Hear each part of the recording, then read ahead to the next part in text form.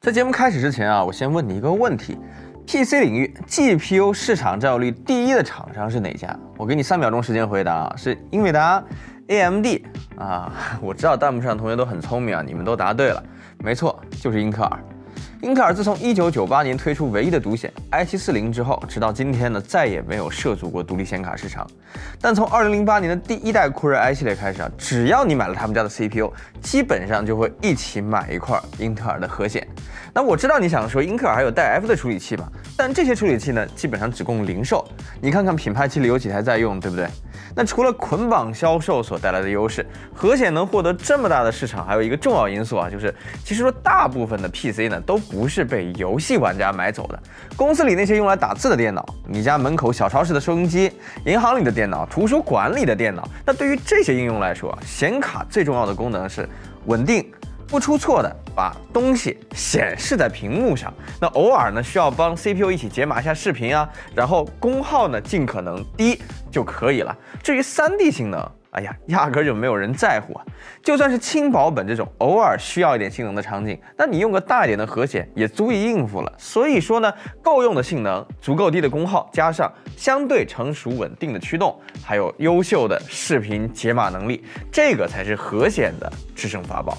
那为什么英特尔有着做 GPU 的能力，却一直不做独立显卡呢？其实不是英特尔不想做啊，他们在零七年左右的时候就已经试图过重返独立显卡市场了。那个时候啊，他们推出过一个叫做 Larambe 的架构，本质上呢是一个精简版、顺序执行的 x 八六架构 GPU，用来抢当年震撼世界的引入 CUDA 通用计算技术的英伟达 G 八零的饭碗。那然而呢，用 x 八六造 GPU 这件事情啊，终究还是有点难，所以 Laravel 呢，最终还是无疾而终了。那直到最后啊，也没有变成一张显卡。反倒是在几年之后，化身成为了 Zen 5协处理器，继续做起了通用计算的老本行。只可惜啊，这和图形无关。那终于啊，在二零二一年，英特尔带着 DG One 独显再次敲响了独立显卡的大门。而英特尔的野心当然不只是 DG One 那种弱鸡啊。于是呢，带着 x e HPC 架构，今年英特尔先推出了可以跟 GTX 幺零五零钛这种入门卡竞争的 A 三八零，接着啊，剑指三零六零级别甜品卡的 A 七七零和 A 七五零，也就终于如约而至了。那么聊架构之前，我们先来看看这两张显卡的实物啊。别的不说，就从颜值上来说，我觉得这两张英特尔原厂卡已经好看到了我愿意收藏的程度。类肤质表面处理，标准的十点五英寸双槽无月间体积，看起来像是 LCP 材质的风扇，加上外面一整圈的高光材质点缀啊，和现在普遍越来越大的显卡相比，这张显卡克制的设计风格反而叫人眼前一亮。正面啊，全是曲面的导风罩设计，和现在市场上越来越见棱见角的设计也形成了鲜明的对比。背面带着纹理的背板呢，也写明了这两张显卡的型号。而 A770 的侧面呢，除了八加六 pin 的辅助供电接口以外，还有一个小端口，这个其实是用来连接 USB 的。没错，它控制 RGB 的方式啊，是通过 USB。哎呀，说真的啊，这个有点傻，哪有显卡还要插 USB 的呀？那接下来呢，我们来看看 PCB。A770 和 A750 两兄弟搭载的都是 ACM G10 核心，这个也是这一代 ARC 显卡当中的旗舰核心。它使用台积电的六纳米工艺制造，内含两百一十七亿个晶体管，面积四百零六平方毫米。这意味着它的规模啊，要比二零八零钛上的 TU 幺零二核心还要大，跟三零六零的 GA 幺零六小核心比，更是大了不少。甚至晶体管数量已经接近三六零的两倍了啊！那说明英特尔呢，还是塞了很大的规模进去的。公版小小的 PCB 上布置了六项核心供电，那这个规模在显卡逐渐变得十分夸张的今天呢，显然并不算很高啊。但是应付 A770 这种一百八九十瓦 TDP 的产品来说呢，还是足够了。何况呢，就我本人而言啊，还是希望显卡能做得越小越好。那这张公版的 A 七七零呢，使用的是十八 G 速率的三星 GDDR 六显存，二百五十六位，十六 G 的规格，比四零七零 i 还要高。那这个我也不知道能说什么好啊，那就只能给老黄来个微笑了。而这颗核心的内在呢，远比它的 PCB 更有趣啊。A770 和 A750 搭载的 ACM G10 核心是基于英特尔的 x HPC 架构的。那这个架构呢，可以说是脱胎于英特尔在十一代酷睿之后核显的 x eLP 架构，但是又对更高性能的需求做了针对性的优化。首先呢，x eHPC 的 GPU 里面啊，就像英伟达的 GPC 一样，它分成了很多个 render slice，每个 render slice 呢又包含着四组的 x eCores。那每个 x eCore 里面呢就包含着基础的计算单元，每个 x eCore 里面呢有十六组计算单元，每一个计算单元呢又细分为 XVE 单元和 XM x 单元。那 XVE 单元呢定位比较像 N 卡的 CUDA 核心，担负着浮点和整数的计算能力。但是与核显的 XeLP 架构不同的是，XeHPG 这次还加入了 XM x 单元，也就是所谓的矩阵单元，和 NVIDIA 的 Tensor Core 比较类似啊。XM 单元的加入呢，也和叉 E S S 这个超分辨率技术有很密切的关系。那这个呢，我们待会儿在聊叉 E S S 的时候单独再聊。在计算单元以外呢，每个 Render Slice 模块还包括着四个光锥单元。从规格上来说啊，这张卡的光锥性能应该是很有看头的。我们待会儿也会来详细测试一下。那 A770 这张卡搭载的是完整的 ACM G10 核心，其中包含着八个 Render Slice，也就是四千零九十六组流处理器，三十二组光追单元。而在八个 Render Slice 模块以外呢，每个 G10 核心还包括了十六兆的二级缓存。那这个二级缓存的大小可以说相当大了。但是英特尔也没有因为搭载着这个巨大的缓存啊就缩水显存位宽，这个意味着这张卡的 4K 性能表现可能会非常值得期待。待会儿啊，我们也会来实际看看。它到底是不是这样？在图形部分以外呢，ACM G10 核心还包含了两组 Media Engine，那我们也会待会儿呢来测试一下它的编解码性能究竟如何。那 A750 呢，则是在 A770 的基础上阉割到了三千五百八十四组流处理器，也就是关闭了其中的一组 Render Slice。那么待会儿我们也来看看这两张显卡的差距。那为了让各位直观的了解 A750 和 A770 两兄弟到底是什么性能水平啊，我找来了当今的主流甜品卡3060和660 XT，同时我又买了一张最近二手流通率居高不下的 RTX 2070，来看看这两张显卡和它们相比的实际性能表现吧。那首先来看 3D Mark 啊，在 3D Mark 里面，英特尔这两张显卡依然延续了核显时代的特色，那就是跑分无敌高。哎，这个 D 叉十二测试 Time Spy 里面呢，A770 甚至已经超过了一万三千分啊，这已经可以和3070以及6700 XT 扳手腕了。但是英特尔的 Xe 架构啊，一直以来跑分都比较高，所以这个表现呢，我也不意外。比较意外的是，A750 和 A770 的差距啊，并不大，比规格上的差距是小了很多。而在 D x 十一的 FSE 性能测试当中呢，A770 和 A750 也要高于参测的其他显卡，而660 XT 呢在这里也有着亮眼的表现，而两张 N 卡就继续垫底。那在光追性能测试 Port Royal 里面呢，A 卡则是毫无意外的垫底，毕竟它这个光追性能就没什么好说的。但是很意外，这个测试里面两张英特尔 ARC 显卡居然大幅领先，居然超过了两张 N 卡。这个 N 卡的传统优势可是光追啊。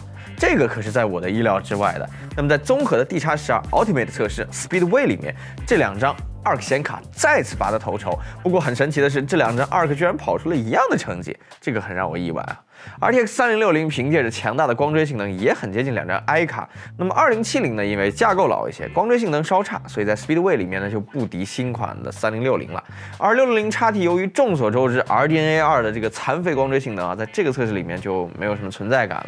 那么在更纯粹的光追性能测试 DXR Feature Test 里面，A770 和 A750 两兄弟表现出了相当强大的光追性能，甚至超过了光追作为传统强项的3060啊！我只能说和 RDNA 二架构的六六零叉 T 形成了鲜明的对比。那从 3D Mark 的表现来看，英特尔的这第一代独显两兄弟 A 七七零和 A 七五零表现出了符合它规模的成绩，尤其是光追性能。非常亮眼，但这个啊只能表明它在驱动优化充分的情况下的表现。然而实际游戏里面光有强大的理论性能它是不够的，驱动的优化也是非常重要的一环。况且，ARC 作为原生 D 叉十二的显卡，我也很好奇它在比如说 D 叉十一啊或者更老的 D 叉九游戏当中又会有怎样的表现。所以，为了尽可能的全面测试它的游戏性能，我们选取了这些游戏进行测试啊。测试分为三个分辨率：幺零八零、二五六零乘幺四四零以及四 K，看看它在不同的分辨率下的性能衰减又如何。豪华的规格能不能让它在四 K 分辨率下带来惊喜？那首先是网游，Apex 当中的两张 ARK 就给了我当头一棒啊。作为起源引擎开发的 T 叉十一竞技网游，A770 在 Apex 里面的表现呢，我觉得已经可以用惨不忍睹来形容了。D 叉十一下幺零八零 P 的分辨率，甚至在我们的测试场景里只能跑到六十帧出头，真生成时间更是惨不忍睹，可以说这就是没法玩的程度。但是这两张卡的成绩有个很有意思的特点啊，就是从幺零八零 P 到四 K 成绩都差不多，甚至四 K 下的帧数还超过了其他几张参测的显卡。看来这种情况有可能有两方面的原因啊，一方面当然是众所周知的驱动还没优化好的原因，另一方面呢也可能是它不原生支持 D 叉十一，导致驱动开销比较高，以及 CPU 利用出现问题啊。那这个我们去留在视频的下半部分再详细去分析。先来继续测下一个游戏，在另一个 D 叉十一网游《DOTA 二》里面。二 K 两兄弟的表现显然就正常很多了。那虽然幺零八零 P 和二 K 下的帧数还是要比 N 卡和 A 卡稍低一些，但至少也是接近的水平。那四 K 下呢？A 七七零更是凭借着更大的规格拔得头筹。那看来，即便是 D 叉十一游戏啊，如果驱动优化比较好的话，我觉得应该也不至于差得很离谱。不过很搞笑的一件事情是，在幺零八零 P 和二 K 下，A 七五零的帧数居然要比 A 七七零高。啊，那英特尔目前这个驱动是什么水平呢？由此是可见一斑啊。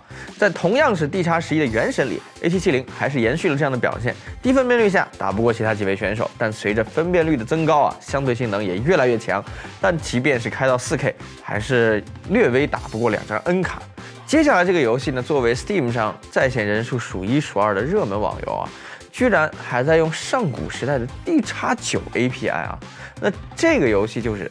CSGO，在 CSGO 当中，两张英特尔显卡的表现在新驱动下呢，其实已经有了长足的进步，但很可惜啊，还是没有办法和同级别的 N 卡与 A 卡相提并论，尤其是低分辨率下的表现。那总的来说呢，我觉得。反正是能玩，但毕竟它不是原生的 D 叉九，即便新驱动已经用上了 D 叉 VK，转移所带来的性能损失也实在是没有办法彻底解决。那接下来我们来看看单机游戏的性能表现。D 叉十二的新游戏方面呢，赛博朋克2077当中不开光追的情况下，A770 和 A750 在 1080P 的分辨率下完全站不起来啊。这个时候 6600XT 才是低分辨率的神，但随着分辨率的提高，相对性能呢它也就越来越好。1440P 下。这五张显卡居然巧妙地达成了一种平衡啊，取得了同一水平的平均帧。当分辨率继续来到 4K，两张 i 卡就凭借着更大的规格再次实现了反超，一跃来到第一梯队。那 A770 和 A750 的差距在这个游戏里依然非常的小，远远没有规格上的差距来的大。那打开光追之后呢？i 卡和 N 卡的光追性能都不错，依然延续着关闭光追的排名。但 660XT 啊，这个时候就因为孱弱的光追性能就暂时落后了。但值得注意的是，在 4K 分辨率下，A750 和 660XT 两张 8G 显存的显卡都出现了爆显存的情况。帧数异常的低，但同样只有八 G 显存的二零七零却并没有出现这样的情况。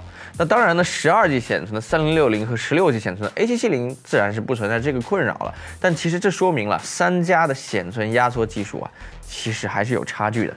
哪怕显存容量一样，其实在实际场景下面的这个同容量显存的意义也是不同的。那么在极限竞速地平线五当中呢，A770 的表现非常亮眼啊，基本上除了 1080P 下小幅落后于 660XT 以外，全程保持领先。当然和前面一样，分辨率越高，优势呢就越大。4K 分辨率下已经有了跨级别的性能优势啊。但 A750 的表现一反常态，和 A770 的差距就变大了很多。那我猜测呢，可能是地平线五对流处理器数量相对敏感，但 A750 和 A770 差距在这里甚至已经超过了核心规格啊。那这个我也不是特别能理解了。巫师三最近更新了四点零以后，简直像换了一个游戏一样。当然也加入了 D 叉十二模式的支持。那在 D 叉十二版本的巫师三当中呢，两张 i 卡表现都很强，三个分辨率下都明显领先于另外三张显卡。A 七五零虽然小幅落后于 A 七七零，但也依然领先其他三张显卡。看来英特尔现在这个驱动啊，针对新版巫师三的优化还是非常到位的。那么在咱们这次测试的最后一个 D 叉十二游戏《古墓丽影：暗影》当中呢，幺零八零 P 下低分战神六零叉 T 依然是引领全场啊。那随着分辨率的提高呢，二 K 的相对性能也会变强。到了四 K 里面，它又成了这几张显卡里面最强的。那么 A 七五零在这个游戏的表现呢，也比较正常，性能差距和规格上的差距相符。考虑到《古墓丽影：暗影》是一个连 Mac 都能跑的游戏，那它应该是比较能够代表啊驱动优化到位的情况下二 K 显卡的表现了。接下来是 Vulkan API 的大表哥二，那 A770 的表现非常出色啊，甚至有了一种跨级别的感觉，即使是 A750 也轻松的干掉了3060和 660XT，那这个性能表现啊，着实是非常令人意外啊！看来在优化良好的游戏里面，这两兄弟的潜力非常大。不过这里有个小插曲，那就是早期版本的驱动当中呢，A750 会在测试过程当中出现蓝屏的情况。然而一个礼拜之后的新驱动呢，就已经修复了这个问题。那我感觉英特尔驱动团队的加班程度可能应该跟我最近已经差不多了吧。战神四的测试呢，使用了 D 叉十一 API，两张英特尔 Arc 的表现很难称得上优秀啊，低分辨率下落后参测的其他三张显卡，到了 4K 分辨率下才挽回了一些颜面。那 A750 比起 A770 呢，则有着百分之十左右的差距，也比较符合规格上的差距。最后我们再来跑一个老一点的三 A 大作 GTA 五。那我们用的是 D 叉十一 API 啊，在 GTA 五里呢，两张 Arc 的表现就有点惨了，三个分辨率下的表现都很难称得上正常，这就是驱动应该还没有对 GTA 五做出针对性的优化。那 GTA 五这个表现基本上就可以代表 A770 在完全没有做好优化的游戏下的表现了。那常规游戏性能测试结束了，但是我还有一些疑问没有得到解决。一个是 Arc 这种像 Rosetta 一样转译来的 dx 九以及 dx 十一，到底驱动造成的 API 开销相比较 N 卡和 A 卡。究竟如何？另一个是 D 叉九模式既然是转译来的，那么会不会造成额外的 CPU 占用啊？为了尽量让问题凸显出来，接下来的测试我们会把 CPU 降到四核八线程、四点零 G 赫的规格呢来进行测试。那这个时候的性能呢与一颗入门级的 i 三幺二幺零零相仿，会更加明显的看到。问题所在。那为了回答第一个问题啊，我使用了 3D Mark 的 API 开销测试工具。这个测试的逻辑呢是逐步增加 CPU 发送的 draw call，当达到瓶颈的时候，记录下每秒钟的 draw call 数量。那么什么是 draw call 呢？每次 CPU 啊准备数据，并且通知给 GPU 的这个过程啊，就是一次 draw call。那在这个过程当中呢，驱动程序会通过图形 API 发出 draw call 指令。那么在相同的 CPU 情况下呢，这个测试就可以看得出来驱动和 API 在极限状态下的沟通效率。或者你也可以简单的理解为，我们可以通过这个测试来看看驱动的效率究竟如何。那注意啊，这是一个极限测试，体现的是显卡驱动动成为整个渲染流程当中瓶颈的时候，驱动造成的 API 性能差异。那果然呢，在这个测试里面，哪怕是最新的四零三二驱动。Arc 的表现也远远不如 N 卡和 A 卡。那 D 叉十二和 Vulkan 的表现还相对好一点。D 叉十一的情况下，英特尔的驱动差异就非常显著了。所以说，这个测试其实再次证明了 A770 在硬件层面上的一身肌肉被它的驱动给禁锢住了。那说到这里呢，我其实想分享一件事情啊。这个视频之所以到今天才出啊，很大程度上。有英特尔非常积极更新驱动的原因，那我们也干脆来对比一下，在这个极限测试里面，十月份的首发驱动和一月份的四零三二驱动差距到底有多大？很难相信啊，这两个驱动版本居然只相差短短的三个月啊！当然呢，哪怕是在最新的四零三二驱动下，i 卡驱动的 D 叉十一性能还与对手存在着很大的差距。但是当我看到短短三个月当中，四零三二驱动的极限性能居然已经比十一月的三四九零驱动啊，在 D 叉十一多线程的情况下高出了百分之五十六点八二啊，我只能说我是非常 respect 英特尔对待这张显卡的态度的。直观的感受就是，我的测试进度甚至跟不上他们更新驱动的速度。就在视频要推出的这几天，他们又更新了一个 beta 版驱动，啊，不得不感叹一下，我觉得至少这张卡的未来表现还是很值得期待的。那为了更直观的展现这三个月的驱动更新带来了多少性能提升，那我给你们看两个游戏的差距啊，一个是 CSGO，这是一个 D 叉九网游，在各个分辨率下都有着显著的提升。DOTA 二，这是一个 D 叉十一的网游，同样有着显著的提升，尤其是百分之一低帧啊，提升是相当明显，所以你是能看到英特尔是确确实实在认真做事的。这个是所谓占未来的基础。那而为了回答第二个问题，我们分别用 A770、3060和 600XT 跑 1080P 分辨率的 CSGO 来记录测试全程的 CPU 占用率。结果 A770 的帧数比较低，不过相应的 CPU 占用率也是最低的。然而让我意外的是，3060的平均帧其实比 600XT 还要来的略低一点啊，但整体的 CPU 占用率却要高于 600XT。也许这个就是坊间传闻这个 N 卡偷优的来源吧。那这说明 Arc 目前的这个驱动性能呢，虽然还不是很好，但也没有因为非原生的问题让 CPU 占用率异常的高。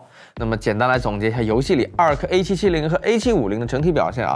那目前 A770 和 A750 由于驱动的封印，游戏性能有点对不起同级别里超纲的规格，因为表现太特别，我也没办法简单的说它的性能相当于两家的什么显卡。在 D 叉叉十二 Vulkan API 的比较新的单机游戏里面呢，A750 就能做到低分辨率下不输3060 4K 下面呢比3060和 60XT 更强。A770 可以做到在这类游戏里面超过3060，但在另一部分稍微用的技术老一些的 D 叉十一游戏里面，A750 和 A770 就明显被驱动拖了后腿，甚至于在 GTA 5里跑出了远远不及预期的性能。网游里也是如此啊，有像原神啊、DOTA 2啊这种表现正常接近3060和 60XT 的，那也有像 Apex 这种完全没法玩的，也有像 CSGO 这种因为 D 叉九的原因性能表现比较弱的。那总的来说呢，就如果你是一个以最新的三 A 大作为主的玩家，这两张显卡的表现就还行。但如果你是一个怀旧玩家，或者是以竞技网游为主的玩家，那我认为呢，这两张显卡单从目前的性能表现来看啊，你还是得再观望一下。接下来啊，我们来聊聊 x ESS。那 x ESS 呢，作为继 DLSS、FSR 之后的又一个超分辨率技术，英特尔在核心里塞入的 x M x 矩阵加速单元就是来为 x ESS 服务的。从技术上说呢，x ESS 的技术路径啊比较接近 DLSS 二代，都是利用深度学习加速的超分辨率超采样技术。但它并不像 DLSS 那样只兼容二十系以后的 N 卡，x ESS 呢有着和相对传统的 FSR 二类似的兼容性，也就是什么卡都能用。但虽然都叫 x ESS 啊，不过它在不同的架构的显卡上面实现的方式呢，其实是有所区别的。那对于 ARC A770 和 A 七五零来说，因为它们有着 x M x 单元的支持，所以 x ESS 使用的是 int 八格式来处理，速度非常快啊。而对于 x E 核显或者是其他的 GPU，比如说像 N 卡或者 A 卡来说，那 x ESS 呢，则是以更简单的 DPCA 模式运作。相对而言呢，DPCA 路径会有更高的性能开销，效果上呢也会打点折扣，但好处是兼容所有。显卡啊，值得一提的是，这两种方式都使用的是相同的开发 API，所以对兼容游戏上面不存在影响。那我们简单测试了一下 x ESS 各档位下的帧数啊，值得注意的是，x ESS 比起 DLSS 二和 FSR 二还增加了一个叫做超级质量的档位，在 4K 分辨率下呢，各档位的分辨率如表所示。在古墓丽影暗影当中，各档位的差距是这样的。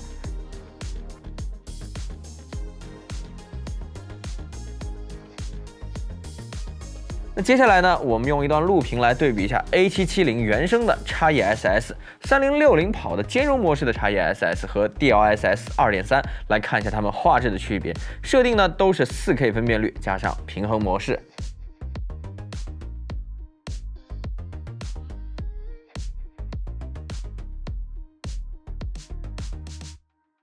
专业软件方面，我们来分为两个部分啊。首先，我们来聊聊视频编辑性能。首先是编解码性能。英特尔在 A770 和 A750 两张显卡里搭载了规格相当高的编解码器，解码器最高支持 8K 六十帧12比特 HDR 的规格，编码器最高支持 8K 十比特 HDR 的规格啊。那支持的格式方面呢，除了主流的 H.264。H.265、VP9 这种之外呢，ARC 也加入了最近逐渐站上主流的 AV1 编码的支持，比如新的 OBS 2.9版本呢，就已经可以用上这个 AV1 编码器。来推流和录屏了。为了测试编解码器的性能啊，我在达芬奇里面做了一个小项目，使用了六条我们测试显卡时候的录屏素材。这每一条都是 4K 六十帧，三十兆码率，High 加 Level 五点二预设。这个呢会对显卡的硬件解码单元造成极大的压力。这个压力有多大呢？我可以用四零九零回放一次，让你感受一下这个压力啊。这个呢就是我们每一次做显卡评测后期军的电脑所遇到的压力。那与此同时呢，为了防止 CPU 太强，让有些硬件解码表现不佳的选手被 CPU 带飞啊，我们在这个测试里面把 CPU 设置成了六 C 十二 T 五 G 赫的规格。那这个规格不至于带飞这些甜品卡，但也不至于太弱。那首先来看一下导出效率啊，那我们把这个三十秒的片段导出成幺零八零 P 分辨率、八十兆码率的 H 二六四视频，分别关闭核显和打开核显解码加速。哎，这个成绩不太对啊，怎么核显还可以给 A 七七零加速的？但其他几张显卡的导出速度却并没有因为 UHD 七七零的加入而变快啊。然而呢，在实时预览这种基本纯靠解码性能的场景下，无论是三零六零还是六零零 XT，在加入了 UHD 七七零之后啊，都会变得流畅很多，甚至连四零九零都会被 UHD 七七零核显显著加速。那所以出现这个结果的原因呢，其实是因为在导出的时候，不只有解码性能会影响最终成绩，显卡的通用计算性能影响甚至还要更大啊。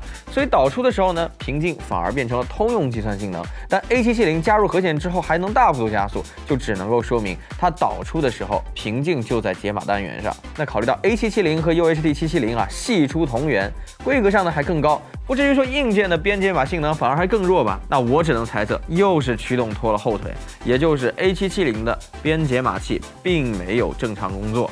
那所以这个成绩呢，仅供参考，并不能够说明硬件的实际水平。而体现在实际的剪辑应用当中啊，我们做了一个综合性的测试。PR 里面啊，在关闭核显的情况下，A770 的表现介于3060和 660XT 之间；而在打开核显的情况下，成绩则一下子提升了一大截，和3060依然接近。等等啊，A770 和 UHD 770都是差异架构的 GPU，那为什么这个核显还能给 A770 加速呢？这个不科学啊！A770 的这个硬件编解码器有这么烂吗？哎。打开 PR 的设置菜单啊，我终于发现了原因。原来 PR 并没有认出 A770 是一张英特尔显卡，左边是 A770 加 UHD 770，你会发现它识别出了英特尔的 QSV 编解码器。右面呢是只插了 A770，它就没有识别到 QSV 设备。然后我还尝试了一个组合，那就是 A770 加4090啊，看看 A770 能不能帮4090加速编解码。结果 PR 依然认不出 A770 的 QSV。那这个最终成。成绩啊，也跑出来跟单独使用四零九零时没什么差别。但是你要知道，四零九零如果你搭配核显，却能获得相当大的提升。这说明英特尔的 QSV 编解码器效率呢，其实是非常高的。但是呢，我怀疑 PR 实际上是一个白名单机制。只能说，Adobe 对新硬件的适配实在太慢了。所以说，PR 里面呢 UHD 770就可以调用核显内的媒体引擎，就像苹果的 M 系列处理器一样。于是呢，你就会发现啊，核显对编解码器的性能加速提升非常的大。即使是搭配4090的情况下，UHD 770也能提供相当可观的加速能力。只可惜目前 Adobe 还没有做好适配，所以这个部分的性能测试成绩呢，仅供参考。未来适配之后，应该会有比较大的提升。那不过，即使是 QSV 没有识别出来啊。纯靠 OpenCL 性能，它也比六零零 XT 强一大截。那我觉得这个表现还是很令人满意的。我也很期待彻底适配后的表现。毕竟 A770 的媒体引擎啊，比起 UHD 770还要强上不少呢。接着我们还测试了达芬奇啊，不过在达芬奇的测试里面呢，开关和显的成绩就差别不大了，因为达芬奇哪怕你在设置里面打开了利用 QSV 解码的选项呢，它也只会调用独显进行编解码。从最终的成绩来看，达芬奇还是对两张 N 卡更加友好。这其实很大程度上啊，是在 GPU 重负载的场景下，CUDA 加速的优化目前还比较好。那 I 卡和 A 卡呢，只能在达芬奇里面用 OpenCL，还是有点吃亏的。那么在 3D 方面呢，Blender 测试当中，N 卡凭借着 CUDA 加 RTX 优化的独占优势，取得了比较大程度的领先。A770 和 A750 则凭借着诚意十足的规格，即使同样只能使用 OpenCL，消耗的时间也几乎只有 660XT 的一半。这个测试里面，你就能看到英特尔在 ARC 里下的料有多足了。在游戏开发方面呢，Unity 的光照烘焙速度上，两张 ARC 显卡强的有点惊人啊。A770 每秒钟可以计算的光线数量，甚至达到了3060的两倍啊！哪怕 660XT 也差得很远。看来 A770 这卡呢，规格是真的高。那在虚幻五的难题视口预览流畅度测试当中，两张 i 卡的表现也不错。A770 的表现呢可以持平 3060，A750 呢则是强于除了3060以外的其他两张卡。看来只要使用的是 D 叉十二的特性比较多、压力比较大的情况下，这两张卡的表现就会相对比较好。最后我们也测试了一下工业软件当中的表现，在 Spec View Perform 的性能测试里面，A770 啊在大部分的测试项目当中都和3060打得有来有回，但是在比如像西门子 NX 这种需要专业驱动。动的测试项目当中呢，就只有 A 加的游戏卡六六零叉 T 表现了没有被限制的性能。英特尔这边啊，我估计要想解锁这部分性能，也是需要它的专业卡 Arc Pro 了。那不过还有一个比较有意思的地方啊，哪怕是这种测试项目当中，A770 的新驱动也有着比较明显的性能提升。比如在玛雅和 SolidWorks 两个项目当中，四零三二驱动比起三零九零驱动，甚至有了翻倍的性能提升啊！这个可能比游戏测试当中还夸张啊！能耗方面呢，这次我们测试了三种场景下这五张显卡的功耗，分别是 4K 分辨率下桌面待机时的功耗，播放我们在 B 站的 4K 视频时的功耗和运行 3D Mark Time Spy 时所代表的游戏功耗。我们测试使用 NVIDIA 的 PCAT 套件。可以测试包括 PCIe 接口供电功耗以及外接供电接口供电的总和，它可以真实的反映显卡的整体总功耗。那待机时候呢，两张 i 卡的功耗确实有点太高了。A750 三十八瓦，A770 四十二瓦的功耗和 N 卡十一瓦左右、A 卡七瓦左右的功耗是有比较大的差距的。那播放 B 站视频时候呢，A750 的功耗小幅度提升到了四十五瓦，A770 则提升到了五十一瓦。那此时呢，N 卡和 A 卡大约是二十五瓦。那差距还是很明显的，不过确实没有待机时候差那么大了。那造成这个表现的其中一个重要原因啊，可能是在低负载下，英特尔的两张显卡显存并没有降频。一直跑在最高频率上，那这二百五十六位的八 K 显存可不是吃素的啊！加上这 A770 十六 G 的显存频率还更高，所以它的功耗也会比 A750 来的还要高。那就看看之后更新驱动能不能让显存也能在低负载下支持动态调频了。在 TimeSpy 里面呢，两张 i 卡的功耗也比其他三张显卡稍高，二百二十多瓦的功耗，甚至比爷爷辈的二零七零都要高啊！这只能说明啊，两张卡用这样的规格却被驱动已经。封印到只能跟一群低功耗的小朋友打了。英特尔的驱动团队啊，已经三天没更新驱动了，生产队的驴都不敢这么歇呀！快更新驱动。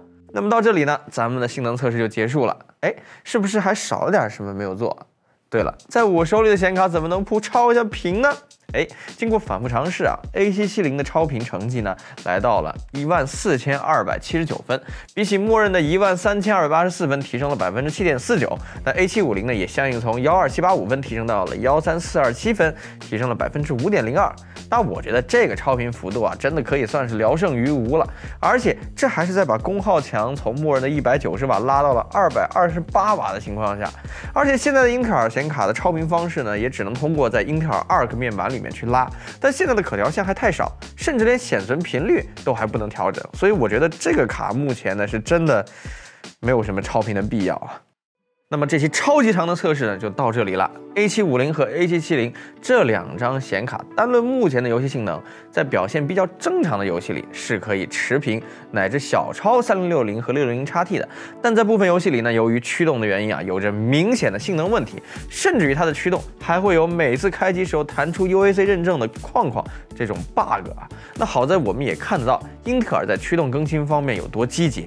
那说回到这两张显卡本身呢，现阶段我并不会推荐你去购买一张 A750 或者 A770 啊，就为了去支持一下英特尔，这个显然是不理智的。毕竟这两张显卡在实际使用的过程当中，还是很容易遇到一些不尽如人意的情况。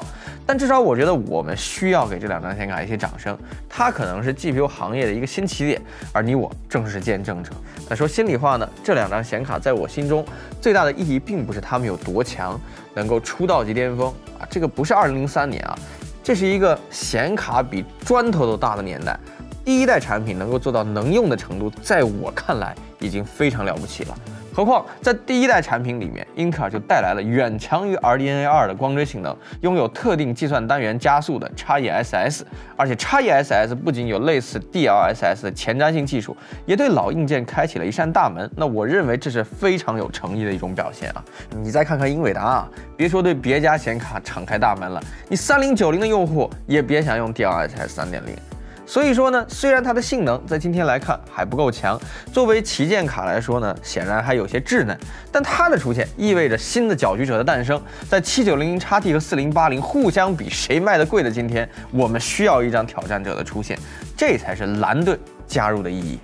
那 A 七五零我看到现在在第三方的售价大概在两千元上下。那如果你想尝鲜一下，想体验一下这个二 K 显卡到底是怎么样一款产品，那我觉得 A 七五零呢，倒真的可以买来玩玩看。性能和 A 7 7 0差距不大，该有的特性一个不落，而且呢还能够保证绝对不是矿渣。而且英特尔目前更新驱动的积极程度啊，看来是真的能占未来。万一后续一直提升下去，那买到这卡的你还赚了呢。但是两千六到两千七的 A 7 7 0呢，我觉得就更适合多金且喜欢收藏硬件的玩家了。那如果你想留作纪念呢，那么 A 7 7 0应该能够让你在十年后也回想起今天这个时代，它是个话题性。不会输给四零九零的明星产品。那么本期节目就到这里了，喜欢我们的节目，别忘了长按点赞键来个素质三连，也别忘了关注我们的频道。那么在这里呢，我也提前祝大家兔年万事如意，最重要的还是身体健康啊。那么我们下期节目再见了。